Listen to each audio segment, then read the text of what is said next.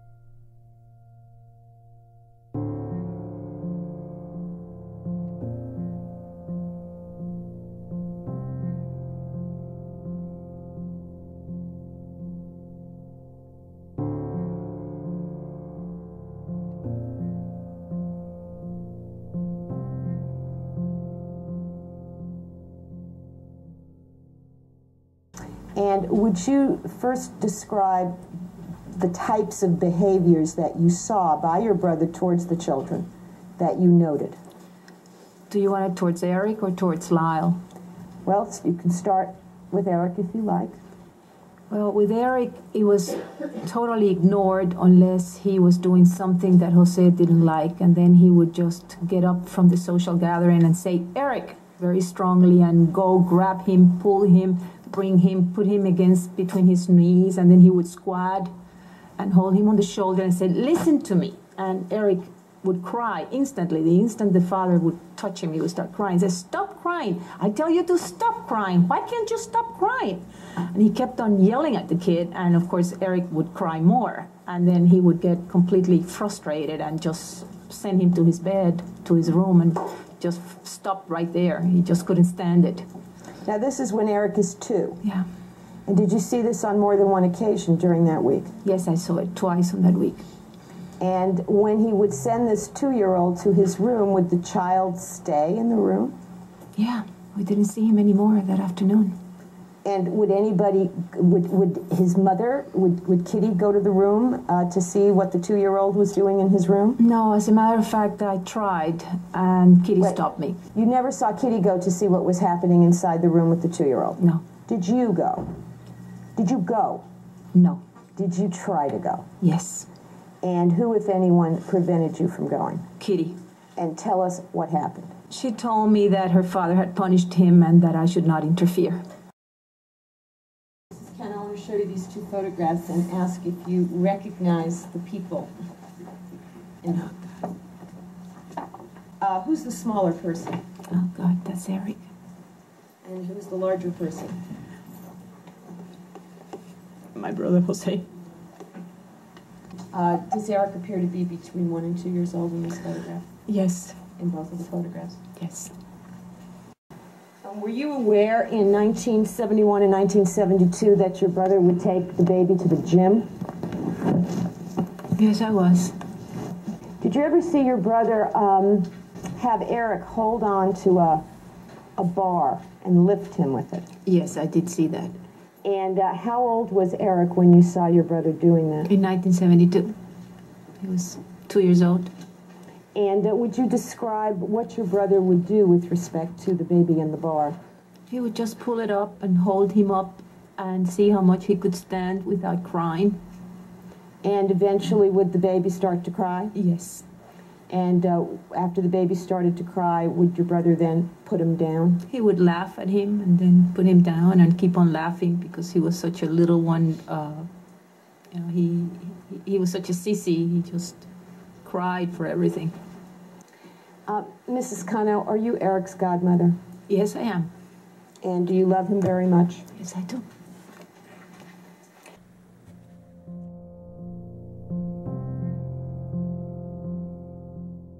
What do you believe was the originating cause of you and your brother ultimately winding up shooting your parents?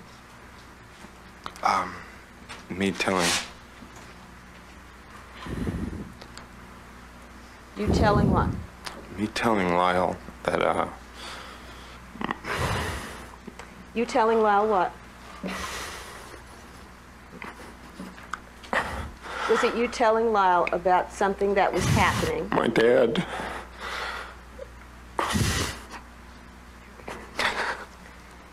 Okay.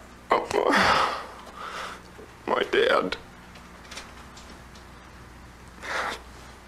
Your Honor, can I ask a leading question? my If you don't uh, ask, my dad Wait one second, Mr. Hernandez. Okay, let me ask. no, no, he was in the process of answering, so there's no need to ask him. Can you answer the question? yes Okay, it was you telling Lyle what? my dad had been molesting me And between the ages of six and eight, did your father have sexual contact with you? Yes. And how did it start?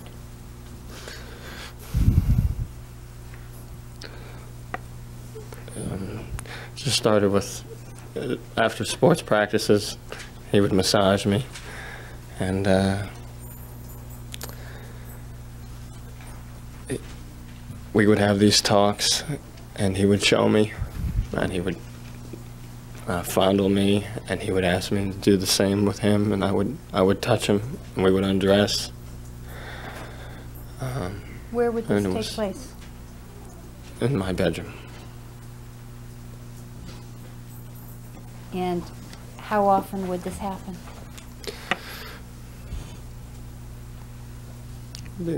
like two or three times a week. And for how long did this happen? Um, not too long. It began to change. When did it begin to change? I'm not sure exactly at what time, but almost close to when I was seven. And how did it change? Just became more involved. Um, What do you mean more involved? um, we would be in the bathroom, and uh, um, it would he would put me on my knees, and he would guide me all my movements, and I would um, uh, have oral sex with him. Did you want to do this?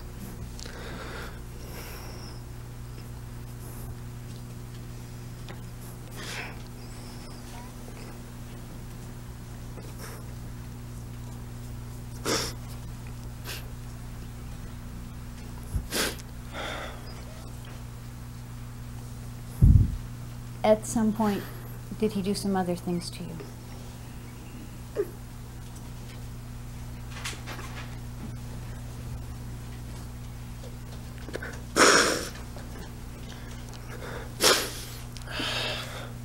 Yes. What else did he do to you?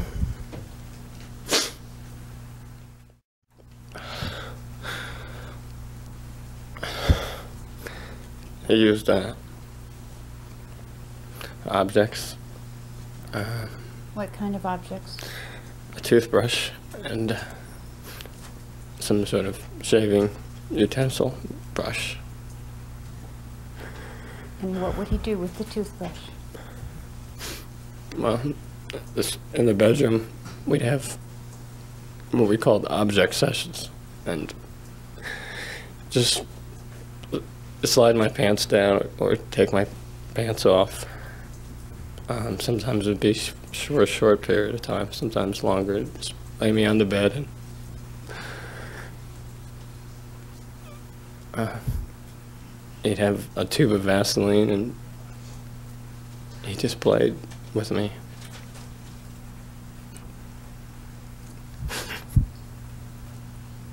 And was there some point in time when he decided to use something besides the toothbrush?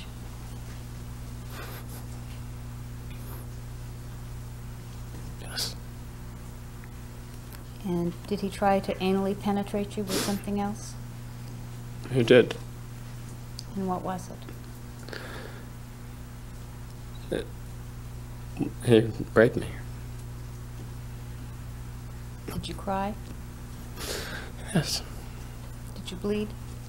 Yes. Were you scared? Very. Did you ask him not to? Yes. How did you ask him not to? I just told him, I don't, I don't. I'm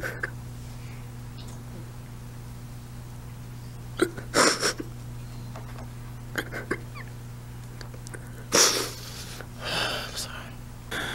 I just told him that I didn't want to do this and that it hurt me.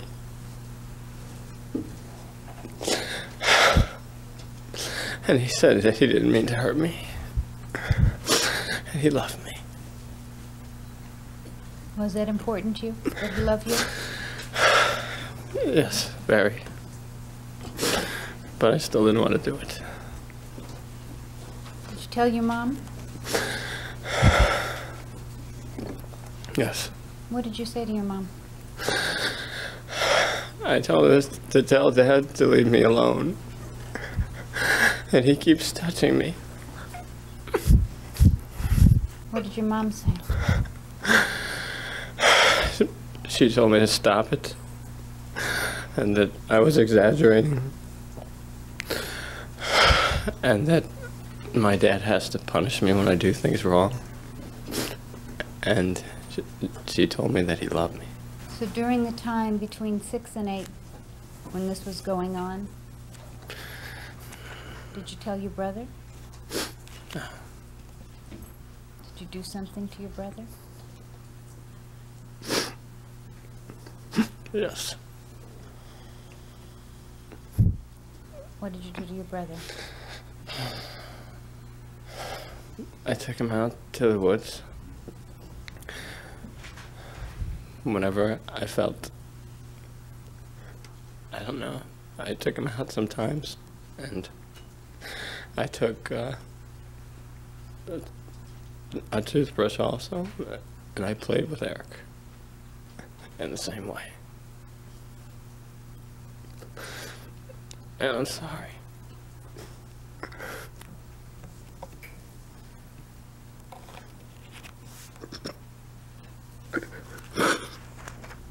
When you were about 13, did you think that it might be happening to someone else? Yes, And who did you think it was happening to? Eric. And did you do something about it? Yes, What did you do? I talked to my dad. What did you say to your dad? I told him that I knew what was going on with him and Eric, and I, heard noises, and that I wanted him to leave Eric alone. And what did he say to you? He told me that Eric made things up sometimes, but that it that it would stop. That he, we should keep it just between us, or he'd kill me. Did you ever tell anybody what you thought was going on? And I told him I would never tell anybody. I just wanted to stop. Did he tell you it would stop? He did. All right, ladies and gentlemen, we will recess until Monday at 9 o'clock. I want to remind all of you not to...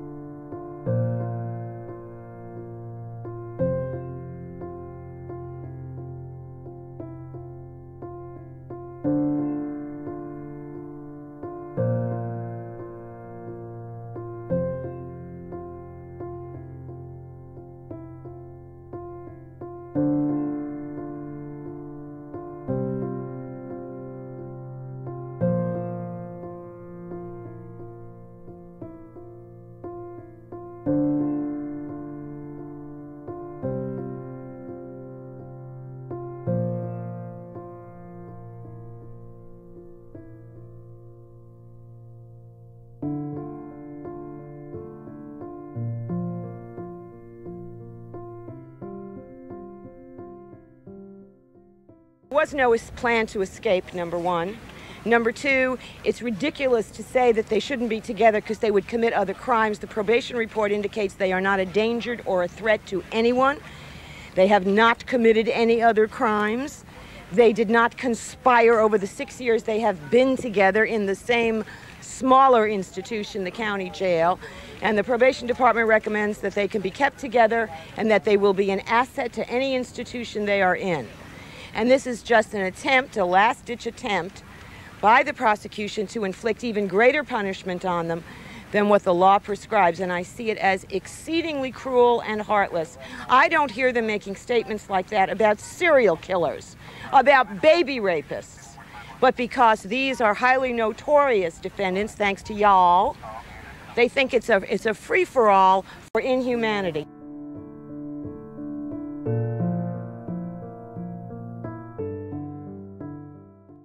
Erik, you were able to tell your psychologist that you had killed your parents, but you were not able to tell your psychologist that your father had abused you? Unless you've been molested, you, you can't realize how hard it is to tell Because of shame? because of shame. Describe your relationship with your father. What words come into your mind? Brutal, uh, painful, torturous. And yet I thought that he was the most powerful and brilliant person I had ever met. I was his firstborn son. That was very important to him. And my bond with him was, I thought, strong because we had been through so much together. But uh, it was difficult to see the things that were going on. And uh, Things that were going on, that is, when you learned that he was sexually molesting your brother? he had sexually molested me before I was a teenager. And um, it was a different, much different experience than Erik's. Because you were little? Because I was little, I guess. Did you love your mother or like your mother? I loved my mother and I tried to help her. My mother was a person in a lot of pain, and uh, she was alcoholic and she was suicidal. Did she know about the abuse, the sexual abuse? She knew. And didn't do anything? She knew, and uh, it, it doesn't seem that she did anything. We bought the guns. There was a there was many a series of Yeah. uh, confrontations and, and blowups in the house. My dad, when it first was revealed that I had told Lyle Yeah. about the secret, my dad said to Lyle, "You're going to tell everyone, and I'm not going to let that happen." Take me through your mind, Lyle. My father was threatening us, and so there was fear, but there was great, you know, I, there was anger on my part, and um, my mother uh, was aware of and had allied herself with my father, and it was, it, was- there was a great deal of confusion. This happened all in just three days, and I just, um, I wish I'd give anything to just turn back that one page of my life. Why did you kill your mother? On Thursday night before, uh, when there, in one of the explosions, I was running downstairs and I was crying, and my mother was on the couch and she had been drinking, and she said, "What's wrong with you?" And I said, "Nothing, nothing. You wouldn't understand." And she said, "Oh, I understand. What do you think? I'm stupid?" And and she told me that she knew, that she had known all my life what my father was doing. And it was like I didn't even know who she was anymore. And I just saw dad and mom as the same person at that point. I, saw them as, as a single person. Really the first time that this secret about what was happening with Dad and Erik was discussed openly in the family in a very um, angry way. I don't know about Erik, but I completely lost control myself. And um, I, in that time, I, I didn't separate. I knew my mother and my father. I just, I was just, it was just adrenaline and fear and anger. I, uh, Lost there's control. no, there is no uh, explanation. You had thought about this earlier because you had bought the gun several days before. We knew that this could end, this could, a violent confrontation could occur because my father had threatened my life. You still think your father would have killed you for revealing the secret? You both still feel that? There's no question. Really? I, I still believe that. I don't believe that he was in the process of killing us that moment, I that see. evening. How now would you have resolved it? Now, what, almost seven years later? What do you think you should I have would done? have never told. I got Lyle into this. I, I'm, I went to him and I said, Lyle, I can't live anymore with what's going on, and got him involved. He was a way to go. They had bought him a condominium. He was going to Princeton. He had all the money. So it's your fault for telling your brother?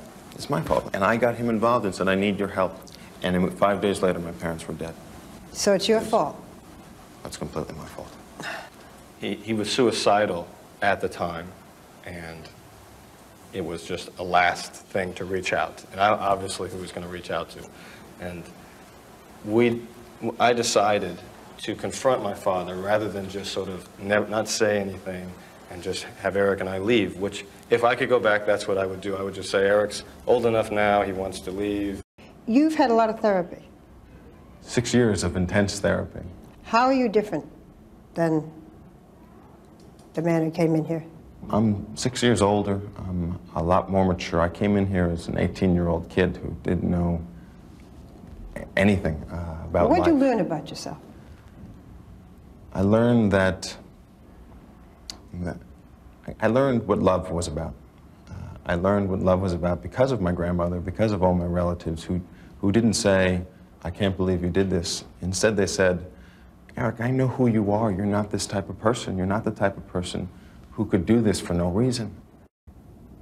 You know, for me, uh, emotionally being in, in prison conditions was was really not emotionally was not a shocking difference from the life we had lived because we, we lived really a very stressful, fearful life and to me the, the it was kind of like I felt this I should be punished and um, it didn't feel good but there was a part of you that feels like That's right. it's, it's better.